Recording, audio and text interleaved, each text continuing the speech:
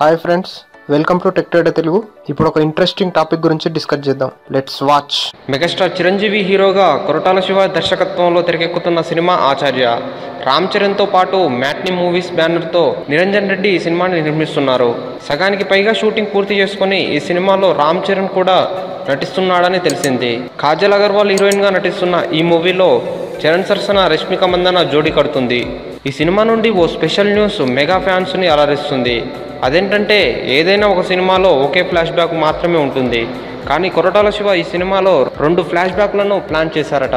మొదట చిరు flash back వస్తుందట. అందులో రామ్ చరణ్ కనిపిస్తాడట. రామ్ చరణ్ ఎపిసోడ్కు కూడా మరో ఫ్లాష్ బ్యాక్ ఉంటుందని తెలుస్తుంది.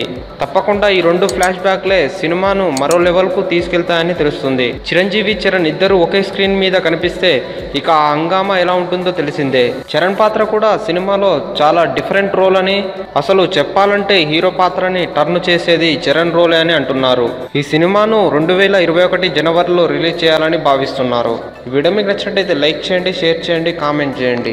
ఇటువంటి మరిన్ని వీడియోస్ చూడాలంటే మా ఈ టెక్టేటర్ తెలుగు ఛానల్ని సబ్స్క్రైబ్ చేసుకోండి. Thank you for watching